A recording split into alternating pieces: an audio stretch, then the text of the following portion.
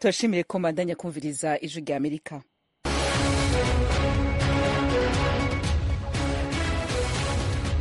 Radiyo ijwi rya amerika isamira na washington dc mu kirundi no mu kinyarwanda. Mu burundi muriko mutwumva ku mirongo migufi ya shortwave kuri metero mirongo ibiri na zitanu mirongo itatu na rimwe na mirongo ine na rimwe. Mu rwanda tukaba kuri fm ijana na kane n'ibice bitatu. Ikaze makuru yo kuri uno mugoroba mugiye gushikirizwa na diane ninahazwe ndi muri studio ya gatanu. U rwanda rwatangaje ko rwatewe n'ikiza c'indwara y'ibihara y'inkende aba mu karere ka rubavu. Basaba ko leta ishiraho ingamba zo kubakingira. Gushaka ingamba nyine bakazifata niba twajya dukaraba imiti cyangwa nk'uko twabayeho muri kovide nyine dukaraba imiti twambara ubupfukamunwa bakareba ingamba twakurikiza zatuma tukirinda. Aba ni bamwe mu banyagihugu bo mu karere ka rubavu gahana umupaka na repubulika ya demokarasi ya kongo.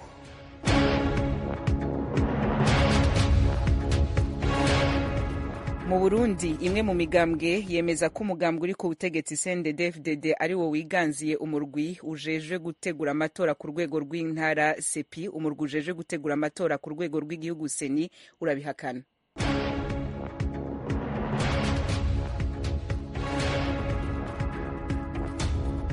Umugambwe anc umaze imyaka igera kuri mirongo itatu ku butegetsi bwa afurika y'epfo wirukanye jacob zuma. Yahoze ari perezida w'ico gihugu n'umwe mu nararibonye z'uwo mugambwe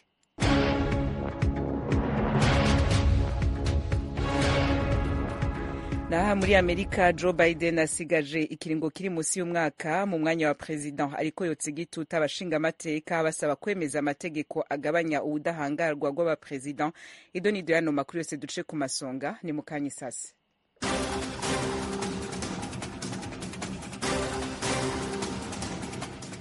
nongere ndabahe ikaze nshuti bakunzi b'ijwi rya amerika ndanabashimira ko mwahisemo kumviriza ijwi rya amerika mu yandi maradiyo yose. Amakuru yacu tuyahere ku mugabane wa afurika muri afurika y'epfo aho umugambwe uri ku butegetsi muri ico gihugu anc wirukanye jacob zuma yahoze ari perezida n'inararibonye yaho. Ni nyuma y'uko ashizeho umugambwe mushasha wahiganywe mu matora aheruka kuba muri ico gihugu. Ibindi kuri ino nkuru na mugenzi wacu fidel niyongabo umugambwe wa jacob zuma mkonto wesizwe uzwi kandi ku izina rya mk waronse hafi y'ibice cumi na bitanu ku ijana vy'amajwi mu matora yaherutse kuba. Uza ubwa gatatu mu migambwe ikomeye cyane muri afurika y'epfo. Vyatumye umugambwe anc utakaza ibibanza vyinshi wari ufise mu nama nshingamateka mu bwabaye ubwa mbere kuva ushitse ku butegetsi mu mwaka w'igihumbi kimwe amajana icenda na mirongo icenda na kane. Kuba ico gihe umugambwe anc warashizeho leta y'ubumwe hamwe n'iyindi migambwe itari mike harimo umugambi ukomeye utavuga rumwe nawo democratic alliance naho jacob zuma yashinze umugambi wiwe mushasha utavuga rumwe na leta mk yagumye asaba kuguma ari umunywanyi w'umugwi anc umunyamabanga mukuru w'umugambwe anc Fikile mbalula yatangaje ko umugambwe wiwe wasanze zuma yarageramiye inyungu zawo mu gushinga umugambwe bihiganwa muri iki gihe ofisi ibibanza mirongo umunani na bitanu mu nama nshingamateka muri afurika y'epfo mbalula yavuze ko inyifato ya zuma iciye kubiri n'amategeko agenga umugambwe anc. Tukiri ku mugabane wa afurika muri etiyopiya abantu cumi n'icenda mu mpera zino ndwi barahitanywe n'isanganya y'ubwato mu karere ka amhara gasinzikajwe n'intambara ibindi kuri ino nkuru na mugenzi wacu oriane itanga ishaka. Ikinyamakuru ca leta ya etiyopiya gitangaza ko iryo sanganya ryabaye ku munsi wa gatandatu w'indwi turangije aho abantu mirongo ibiri na batandatu bariko baja ku maziko. Abajejwe gutabara imbabare bariko bagerageza kurondera ibiziga vy'abaguye muri iryo sanganya. Ico kinyamakuru ca leta kivuga ko hamaze gutorwa ibiziga vy'abantu babiri gusa. Gushika kuri uno munsi wa mbere abategetsi ba leta ntibari bwashime kugira ico bashikirije. Ubwo ruzi rwatekeze ni inzira kenshi ingenzi zitagira impapuro zibaranga zicamwo hamwe n'abantu bahaca bahunze intambara muri etiyopiya iriko ibera mu karere ka amahara no hakurya yaho muri tigreya. Igihe intambara yari ikomeye muri etiyopiya impunzi ibihumbi n'ibihumbi vy'abanyetiyopiya zarakoresheje urwo ruzi zigana igihugu ca sudani ico gihe kandi ubwato butari buke bwaribiye kenshi igihe ubucuruzi bwa kiremwa muntu bwakorwa mu kujana abimukira mu kigobe ca aden mu gihe baba bariko bagana mu bihugu vyo mu buseruko bwo hagati y'isi no ku mugabane wa buraya. Ijwi rya amerika ku yindi migabane atari afurika umushikiranganji wa mbere w'ubutaliyano kuri uno wa mbere yatangaje ko ubushinwa bufise uruhara rukomeye mu guhwamika imishamirano mu makungu. Yabivuze igihe yabonana na perezida w'ubushinwa xi jinping. Abivuga bihereye ku kiga fidel nyongabo. Giorgia Meloni ari mu Bushinwa mu rugendo rwiwe rwa mbere muri ico gihugu kuva ashitse ku butegetsi haraheze hafi y'imyaka ibiri. Yemeye gusubira kunagura imigenderanire n'Ubushinwa yatosekaye mu mpera z'umwaka urangiye. Meloni yavuze ko umutekano utera uhungabana kurushiriza makungu. Yatangaje ko yiyumvira ko Ubushinwa bufise uruhara rukomeye cyane mu gutorera inyishu ku guhungabana k'umutekano ku isi. Ku bwiwe Ubushinwa n'Ubutaliyano bitegerezwa kwiyumvira biri hamwe ukugene vyotuma amahoro n'umutekano vyubahirizwa kurushiriza mu makungu. Perezida w'ubushinwa ku ruhande rwiwe yahayagije imigenderanire ya kivandimwe imaze igihe kirekire hagati y'igihugu ciwe n'ubutaliyano. Perezida Xi Jinping yavuze ko impande zompe zishyira imbere ukwihanganirana no kubahana mu gihe ziba ziriko zifata inzira yazo mu bijanye n'iterambere.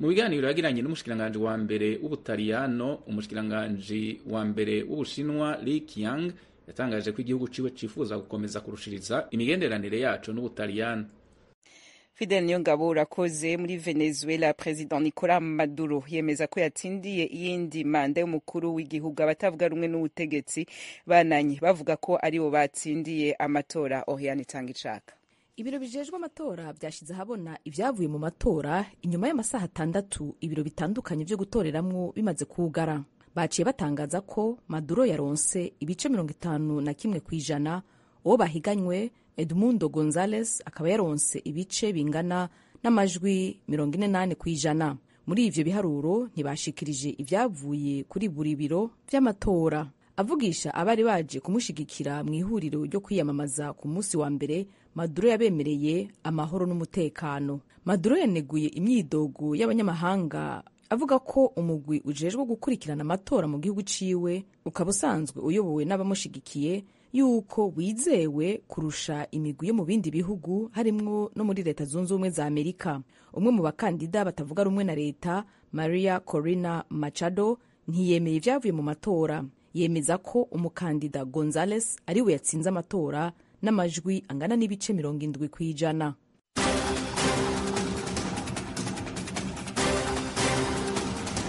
Oriana itanga ishaka na Fidel Niyongabo barakoze kuri ayo makuru hirya nino ku isi badutegure bakaba baheje kudushikiriza ayo mwumvise n'ayandi mushobora kongera kuyasoma muce kuri we zitatu akaburungu radio yacu voa akaburungu com mu kanya duca tuja mu bihugu bitandukanye vy'akarere ka Afurika y'Iburasirazuba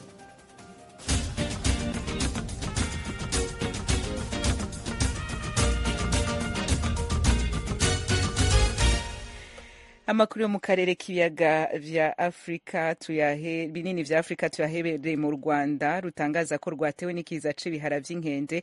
Abanyarwanda bakora ubucuruzi hagati y'ico gihugu na kongo ivugwamwo ibitigiri vyinshi vy'abanduye iyo ngwara. Batewe impungenge n'uko atangamba zirashigwaho zo kwirinda ico kiza kivugwa no mu burundi. Ibindi kuri no nkuru n'umumenyeshamakuru gloria tuyishime. Kuri uyu wa gatandatu ni bwo ikigo cy'igihugu cy'ubuzima mu rwanda rbc cyatangaje ko hadutse iki cyorezo. Iki kigo cyavuze ko abantu babiri cyagaragayeho bari bamaze iminsi bakorera ingendo mu gihugu cya repubulika ya demokarasi ya kongo ishami ry'umuryango w'abibumbye oms rivuga ko abantu ibihumbi makumyabiri n'icyenda bamaze kwandura iyo ndwara muri kongo kuva mu ntangiriro z'umwaka ushize. Abagera ku gihumbi n'ijana bamaze kwicwa n'iyo ndwara dukurikije imibare itangwa na oms ku mupaka wa kongo n'u rwanda mu karere ka rubavu ahazwi nko kuri petite bariyeri urujya n'uruza rurakomeje nk'ibisanzwe kuri uyu wa mbere. Bagera mu masaha ya saa tatu za mu gitondo nasanze nta ngamba zijyanye no kwirinda iki cyorezo zirakurikizwa nko gukaraba intoki n'izindi. Iki cyorezo ntabwo nari nacyumva neza ntabwo bari babitubwira kuko iyo byaje tukabimenya na hano ku mupaka dukoresha uburyo bwo kwirinda. Igoma igoma se ko bapfa buri munsi wamenya ibibica ari ibiki abaturage bakorera imirimo itandukanye irimo iy'ubucuruzi ubwikorezi n'indi nta makuru bafite kuri iki cyorezo. Ntabwo ari neza. Ikintu nzi cyabaye muri kongo ni ebola. Niyo nzi icyo cyomoka ku ngendo ntabwo mbizi. Ntacyo nari numva keretse ebola na kovide nta bindi nari numva birashoboka nyine nimba ari icyorezo kikaba gihari urumva tujyaho buri munsi twagitahana tutanabizi. Ahubwo nyine nk'ababimenye babasha kuba babizi babikangurira buri wese akabimenya.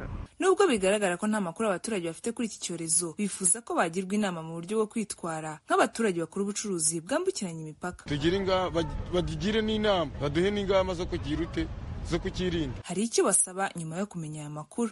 Ibyo ngibyo nge ntabwo nabimenya kuko ndi umuturage bisanzwe. Igihe barashyiriraho izindi ngamba nanjye ndubahiriza ingamba nk'uko bazisize.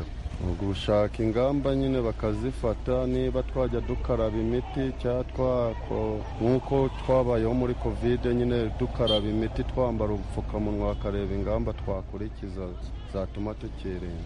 Kuri iki kibazo ijwi rya amerika yavuganye n'umuyobozi w'ibitaro bya gisenyi muganga tuganezi oreste avuga ko kugeza ubu ku mipaka yombi ihuza igihugu cya repubulika ya demokarasi ya kongo mu karere ka rubavu hari gupimwa ibimenyetso bishobora kugaragaza ko umuntu yaba yanduye indwara nk'umuriro n'ibindi.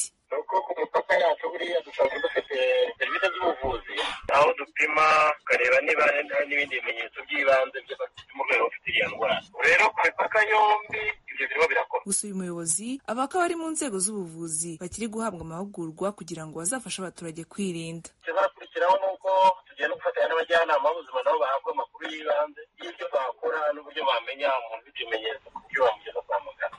Mu bitaro no mu bigo nderabuzima ntabwo abaganga barahuguwe barimo banahabwa n'amahugurwa anyuranye kugira ngo bamenye igihe bakeka umurwayi bafite ikibazo icyo bakora umuyobozi w'akarere ka rubavu murindwa prosperi asaba abaturage cyane cyane abakora ubucuruzi bwambukiranya imipaka kwirinda mu buryo bwose bushoboka kuko hari amahirwe menshi yo kuba abaturage bakanduzanya iki cyorezo. Ibikorwa remezo bifasha abantu gukaraba intoki aho biri hose kuko turabifite henshi mu karere. Bikoreshwe umuntu wese ntakabibone ngo yumve ko hari umurimbo ahubwo ajye abikoresha kuko umuntu wasuhuje undi umuntu ugiye gusuhuza undi umuntu umaze gufata ku myambaro ye umuntu winjiye mu modoka burya aba afite imyanda yagiye mu kiganza cye ni byiza ko abantu bakoresha ibi bikorwa remezo kuko iyo bidakoreshejwe ni bwo abantu bageraho bagatekereza ko ntacyo bimaze bigatangira kwangirika. Abahanga mu by'ubuvuzi bavuga ko icyorezo cy'ubushita bw'inkende cyandura binyuze mu gukora ku muntu uyirwaye cyangwa amatembabuzi y'uyirwaye. Abafite ibyago byinshi byo kuyandura barimo abakora uburaya abaryamana bahuje ibitsina abakora kwa muganga n'abakora ingendo mu duce twagaragayemo iyi ndwara. Guhera mu mwaka w'ibihumbi bibiri na makumyabiri na kabiri hirya no hino ku isi hamaze kugaragara abantu barenga ibihumbi ijana barwaye indwara y'ubushita bw'inkende. Umugabane wa afurika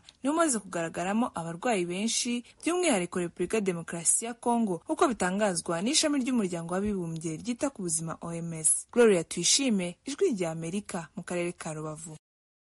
Gloria tuyishime urakoze. Ndakongerere koko no mu bihugu bimaze kwinjiranwa n'ico kiza n'uburundi burimwo. Umushikiranganji ajejwe ivy'amagara y'abantu mu gihugu c'uburundi yabitangaje ku ndwi iheze. Amakuru yacu rero mu kanya turaca tuyabandaniza muri politike y'uburundi ariko imbere yaho reka tugume mu rwanda tubabwira ino nkuru y'umunezero. Ku mwigeme imaniza bayo w'imyaka mirongo ibiri n'indwi imaniza yabo yarayashoboye kubonana n'umuryango wiwe yari amaze imyaka mirongo ibiri adakubita ijisho. Imaniza bayo yahuye n'umuryango we biciye mu kiganiro agasaro kaburaga k'ijwi rya amerika. Umenyesha amakuru eric bagira ubusa bafatanije urugendo. Aja gusanga umuryango yari yarabuze umwari imaniza bayo w'imyaka makumyabiri n'irindwi y'amavuko ijwi rya amerika yamuherekeje umugezi wabo. Ahageze yasanze ibintu byose byarahindutse nyuma y'imyaka makumyabiri n'ibiri yarabuze. Twasanze inshuti n'abavandimwe bamutegereje muri santire ya nyakabanda. Twakomereje iwabo mu mudugudu wa kaganza akagari ka remera mu murenge wa boneza irutiro mu burengerazuba bw'u rwanda. Akarere gakora ku kiyaga cya kivu aho gihana imbibe na repubulika ya demokarasi ya kongo. Tuhagera wari umunsi mukuru.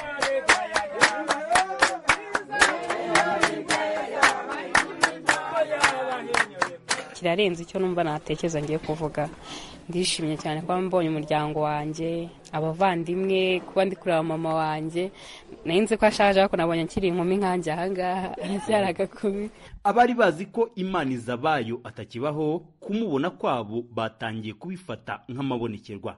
Imana izabayo w'imyaka makumyabiri n'irindwi y'amavuko yabuze mu bihumbi bibiri na kabiri afite imyaka itandatu. Yagiye atwawe n'undi mubyeyi witwa mukaniyo nzima amuherekeje i kigali. Kuva ubwo imana izabayo yabayeho mu buzima butandukanye kugeza ubwo yajyanywe mu kigo cy'imfubyi cy'abihaye imana mu karere ka muhanga. Arivera nta mabyariro ni umubyeyi w'imyaka mirongo ine.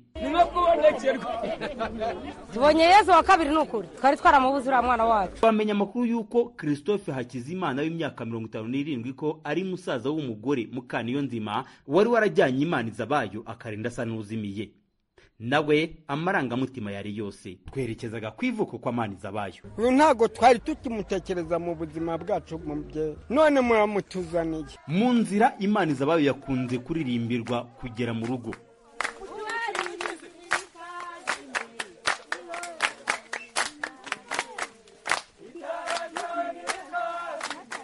Tukigera mu rugo ku ivuko imana izabayo yarategerejwe n'imbaga. Nyina umubyara ni daforoza mukantwari w'imyaka mirongo itandatu n'irindwi. Byamurenze. Mbese mberetse ku mutima wanjye ukuntu hakeye. Imana yonyine gusa niyo ibizi kandi namwe mwenyine uko mbareba gutya mukaba mumunshyikirije mumunzaniye. Mbese ndi kumva byinshi biri ku mutima wanjye nta ni cyo navuga. Ndi kumva ntavuga ngo sobanure menye ni cyo navuga ni cyo nareka. Mu ruhame imbere y'imbaga mukantwari yashimye ijwi rya amerika kubwo kubona umwana we. Ariko njye nkaba mbashimye nk'abantu bize nk'abantu beretswe n'imana ibintu mukoze. Kuri uyu mukecuru kuba umwana we yari azi ko atakiriwe akamubona ari muzima yavutse bundi bushya. Barazutse rwose. Ubu ni bwavutse bwa mbere mbese niko nabivuga. Kubona umuntu uvuga ngo yarapfuye kandi ukabona uramubonye si ibitangaza madamu florence nyirangeri n'imfura ya mukantwari yakiranye urugwiro igishyika n'amarira y'ibyishimo bucura bwabo. Ubu ndashima imana cyane. Yasize afite umwana umwe w'umukobwa mumbyaye abana batandatu. Mu batega amatwi ikiganiro muri isanga mu gasaro kaburaga kabonetse harimo bwana sipuriyani ndeze atuye mu marembo yo kwa mukantwari ubyara imana izabayo. Ingo zabo zitandukanywa n'akayira gato. Acyumva ko imana izabayo yarangishaga umuryango we yahise atambika ajya kubibwira nyina. Ku munsi umwana yageze mu muryango nawe yatanze amashimwe. Ngewe ijwi rya amerika bakimara kumwumva n'ijwi rya amerika yamaze kumva ko umuntu yabonye ababo. Mbashimiye ko bahise batugezaho uwo muntu tukaba tumubonye iyi saha. Bakabyihutisha tukaba tumubonye tukaba tubashimiye. N'umuryango ungana gutya muri kubibona umuryango uteranye ukuntu ungana. Ni ibyishimo birebire kandi byinshi kandi byiza kandi. Mu bantu imana izabayo yibukaga harimo madamu janine mukankubito mukeba wa nyina. Atuye haruguru yo kwa imana izabayo. Niba umuntu barakubwiye ngo yarapfuye. Iyi saha ukaba umubonye n'amaguru abiri n'amaso uko yarari akaba ari ko akiri ni ibintu bishimishije. Icyo ijwi rya amerika yabashije kumenya ni uko mu karere ka rutsiro hari abantu benshi baburanye n'ababo bakibashakisha. Biganjemo ababuriye mu mashyamba ya repubulika ya demokarasi ya kongo mu gihe cy'ubuhungiro bwatewe n'amateka asharira u rwanda rwaciyemo. Aha bagira ubusa ijwi rya amerika irutsiro mu burengerazuba bw'u rwanda.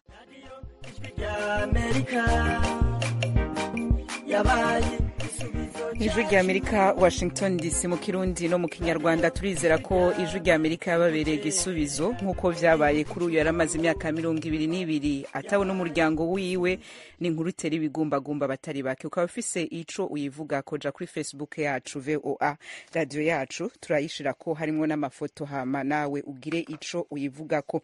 Duce tubandaniriza rero mu burundi aho abagize imigwi ijejwe gutegura amatora ku rwego rw'intara sepi barahiye imbere ya seni umurwi ujejwe gutunganya amatora ku rwego rw'igihugu. Seni yatangaje ko abarahiye bazoca bashiraho abarongoye imirwi ijejwe gutegura amatora ku rwego rw'amakomune sesi nk'uko ikirangamisi c'amatora n'amategeko agenga igenwa ry'iyo mirwi mu burundi abiteganya.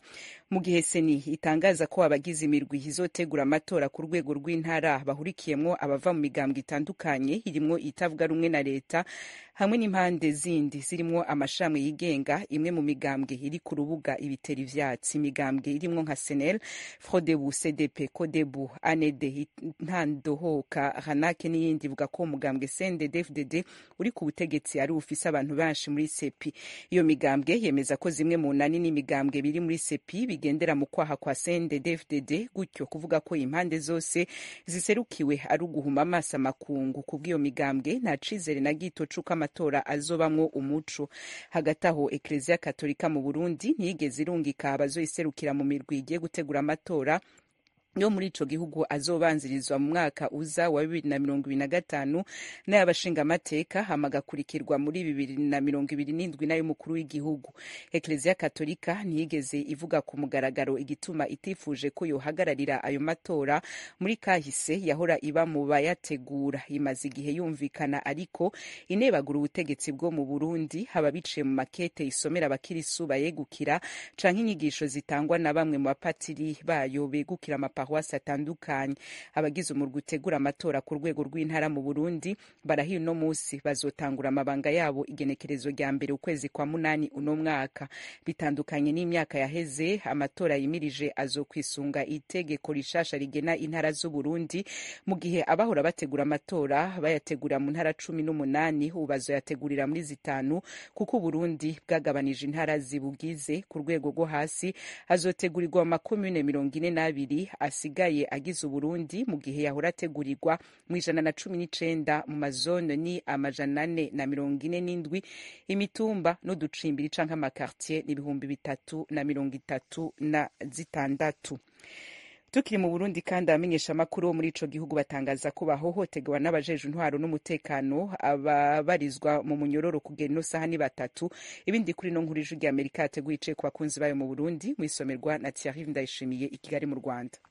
Bamwe mu banyagihugu bo ku mugwa mukuru wa politiki gitega bariyamiriza ingene muri no misi mu bajejwe intwaro n'umutekano bahonyanga agateka k'abamenyeshamakuru. Inyuma y'ikubagurwa ry'umumenyeshamakuru jean noel manirakiza w'ikinyamakuru iwacu ryakozwe n'utwara igipolisi mu ntara ya gitega ku igenekerezo rya mirongo ibiri na gatatu ukwezi kwa gatanu n'umwaka hamwe na gerard nibigira wa radiyo televiziyo isanganiro. Nawe yakubaguwe n'utwara igipolisi muri komine gitega ku igenekerezo rya mirongo itatu ukwezi kwa gatandatu n'umwaka. Ababa ku mugwa mukuru wa politike basaba ko abamenyeshamakuru bo kubahirizwa mu kazi kabo ka misi yose ubundi abamenyeshamakuru n'abantu ba mbere bashikira abanyagihugu aho batoshitse. Nta kuntu rero bari bakwiye gukubagurwa. Ni uko leta yogarukira abamenyeshamakuru akaraba abajejwe umutekano babakubagura bakabihagarika. Mwari abantu mutegerezwa kubahirizwa kwe kuko mwe mutariho ibintu vyomera nabi mu gihugu kabisa. Ko mwege ducisha ko ivyiyumviye nyimba umuntu arondeye amakuru hanyuma akayatanga ntibabe bamureka bamwubahirize abarongoye ibinyamakuru n'amaradiyo mu burundi nabo nyene baratangazwa n'iyo ngendo yo kubuza abamenyeshamakuru gukora akazi kabo yadutse muri kino gihe uburundi bugana ku matora yo mu bihumbi bibiri na mirongo ibiri na gatanu. Jean claude kavumbagu arongoye ikinyamakuru net press ni umwe muri abo bayobozi. Kumburengera kubera amatora yegereje abamenyeshamakuru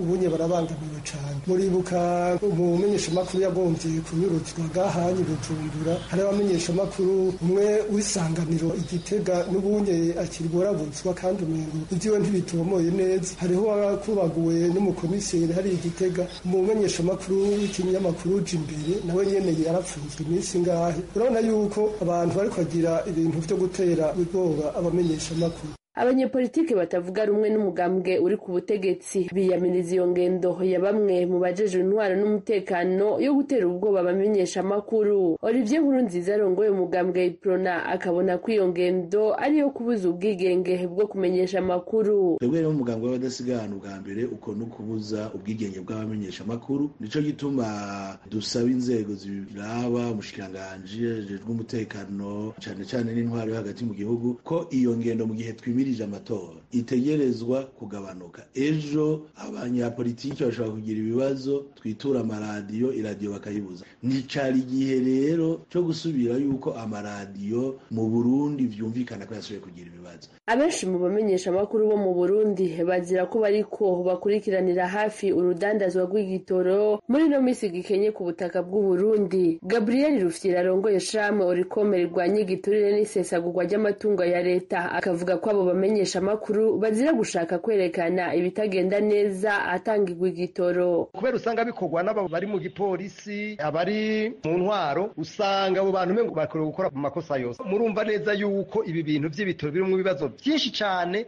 ku buryo n'abamenyesha amakuru baca bajemo bakagira ingorane kubera ko baratohoza ayo makosa arimwo. Turasabye rero urwego sense. Ruvuge rusohora itangazo ruvugira abamenyeshamakuru kuko nirwo ruhagarariye ibimenyeshamakuru hamwe n'abamenyeshamakuru. Abamenyeshamakuru bapfunzwe muri kino gihe bazira gukora umwuga wabo ni frohase irangabiye yahagaritswe mu kwezi kwa gatanu umwaka uheze w'ibihumbi bibiri na mirongo ibiri na gatatu. Keni claude nduwimana yahagaritswe mu kwezi kwa cumi mu mwaka uheze w'ibihumbi bibiri na mirongo ibiri na gatatu. Hamwe na sandra muhoza yahagaritswe ku igenekerezo rya cumi na gatatu ukwezi kwa kane umwaka w'ibihumbi bibiri na mirongo ibiri na kane. Mu byaha bagirizwa bose uko ari batatu. Harimo guhungabanya umutekano w'igihugu abunganira abo bamenyeshamakuru bose uko ari batatu. Bavuga ko bari kubazira ubusa bagasaba ko borekugwa kuko ibyo bagirizwa ari rementanya kuri ico kibazo c'ihohoterwa hamwe n'ifungwa bikorerwa abamenyeshamakuru bo mu burundi abarongoye urwego sense rucungera ibimenyeshamakuru naco bashimye kubibwira ko abakunzi b'ijwi ry'amerika mu butumwa bwabo mu nama n'ibiganiro bitandukanye basaba gusa abamenyeshamakuru gukora bisunga amategeko agenga umwuga wabo.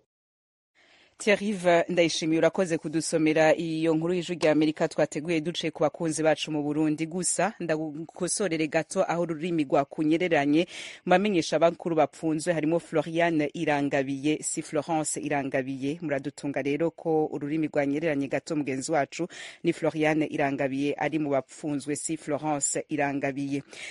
Mu kanya rero turahana agahindukira ariko imbere yaho hariho inkuru nari nabemere tugitangura no makuru yaha muri leta zunze ubumwe za amerika. President joe biden yatangaje umugambi w'impinduka muri sentare nkuru ya amerika ku rwego rw'igihugu.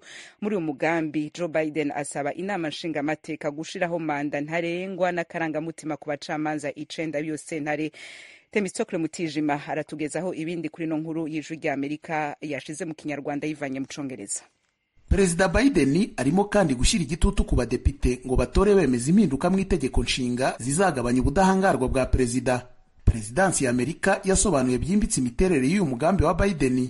Icyakora birasa nk'aho ufite amahirwe make yo kwemezwa n'inteko igabanyije mu buryo bwenda kungana hagati y'amashyaka yombi. Ni mu gihe habura iminsi mirongo cyenda n'icyenda ngo umunsi w'itora ugere. Ku wa gatatu w'icyumweru gishize ubwo yatangazaga ko yikuye mu guhatanira manda ya kabiri perezida yagarutse kuri uyu mugambi nka kimwe mu byo agiye gushyiramo ingufu mu minsi asigaje ku butegetsi.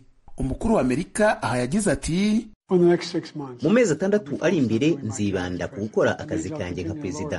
Ibyo bivuze ko nzakomeza kumanura ibiciro ku miryango y'amikoro make kuzamura ubukungu bwacu. Nzakomeza kurinda ubwisanzure bwite n'uburenganzira mboneragihugu byacu kuva ku burenganzira bwo gutura kugeza ku bwo guhitamo. Nzakomeza kandi kwamagana urwango n'ubuhezanguni no kugaragaza ko nta mwanya imvururu zishingiye kuri politiki cyangwa se izo ari zo zose zifite muri amerika. Ngiye kandi guhamagarira ko haba amavugurura mu rukiko rw'ikirenga kubera ko ari ingenzi kuri demokarasi yacu. Ayo mavugurura mu rukiko rw'ikirenga. Byitezwe kandi ko kuri uyu wa mbere perezida biden avuga birambuye kuri uyu mugambi. Mu ijambo aza kuvugira ku ngoro ndangamurage yitiriwe perezida lyndon b. Johnson mu mujyi wa austin muri leta ya texas. Ni mu rwego rwo kwizihiza imyaka mirongo itandatu ishize muri amerika hagiyeho itegeko ryerekeye uburenganzira mboneragihugu. Icyakora abademokarate biteze ko nubwo utakwemezwa n'inteko uyu mugambi uzafasha mu kureshya abatora mu gihe banzura ku mahitamo yabo mu itora abakandida begeranye cyane mu majwi. Uzaserukira ishyaka ry'abademokarate visi perezida kamara harris yashatse kwigaragaza nk'amahitamo ya mbere kuruta uwahoze ari perezida donald trump mu cyo yise amahitamo hagati y'ubwisanzure n'akaduruvayo. Ibiro by'umukuru w'igihugu birashaka kuririra ku burakari bugenda bwiyongera mu bademokarate ku bijyanye n'imikorere y'urukiko rw'ikirenga rurimo ubwiganze bw'abatsimbaraye ku bya kera. Ubwo burakari bushingiye ku kuba rwarakuyeho uburenganzira ku gukuramo inda. Perezida biden arasaba ko ibyo gushyiraho abacamanza bakamara igihe cy'ubuzima bwabo bwose muri uru rukiko bihagarara. Avuga ko inteko nshingamategeko ikwiye gutora yemeza itegeko rishyiraho uburyo bushya bw'igenwa ry'abacamanza b'urukiko rw'ikirenga. Uyu mushinga w'itegeko uteganya ko perezida uriho yazajya agena umucamanza umwe buri myaka ibiri uwo nawe akamara imyaka cumi n'umunani mu nshingano z'urukiko. Ku bwa perezida biden manda ntarengwa z'abacamanza zafasha ko haba impinduka mu bagize urukiko bikanongeraho igipimo ngenderwaho mu kubatoranya. Ikindi umukuru wa amerika ashaka ni uko inteko yakwemeza itegeko rishyiraho amahame ngengamyitwarire y'abacamanza b'urukiko rw'ikirenga. Aya akaba yajya basaba kugaragaza impano bahawe no kwirinda kujya mu bikorwa rusange bya politiki ikindi ayo mahame asaba ni ukwiheza mu manza bo cyangwa abo bashakanye bafitemo inyungu. Perezida biden aranasaba inteko nshingamategeko gutora yemeza amavugurura mu itegeko nshinga yakuraho icyemezo urukiko rw'ikirenga ruheruka gufata ku byerekeranye n'ubudahangarwa aho rwanzuye ko abahoze ari abakuru b'igihugu bafite ubudahangarwa bwagutse bwo kuba bataburanishwa. Iki cyemezo cy'urukiko rw'ikirenga cyongereye itinzwa ry'urubanza rwaregwagamo Trump i Washington ku birego by'umugambi wo kuburizamo itsindwa rye mu matora ya bibiri na makumyabiri. Ibyo bikaba byarahise bivanaho kuba uyu wahoze ari perezida Amerika yaburanishwa mbere y'amatora yo mu kwa cumi na kumwe. Inshuro ya nyuma inteko nshingamategeko iheruka kwemeza ivugurura mu itegeko nshinga hari mu myaka mirongo itatu n'ibiri ishize. Ivugurura rya makumyabiri na karindwi mu itegeko nshinga ryemejwe mu w'igihumbi magana cyenda mirongo cyenda na kabiri. Temisocle Mutijima urakoze inkuru yawe twiciri hagati ariko turaza kwigaruka ku makuru yacu yo mu gitondo. Tubararikire inshuti bakunzi b'ijwi rya Amerika kuza kwitega abiri. Nino ngaha amakuru yacu aciye agarukira. Kuri mikro mwari kumwe na Diane ni nahazo muhinga bw'ivyuma. Shimiye Nadia Taha na ingenieur bari kumwe. Edi Rwema yaraduhagarikiye. Ekipe y'uno mugoroba twempi twifurije ijoro ryiza mu banyu no mu vyanyu. Murarahajyana hataryana hararumwasi.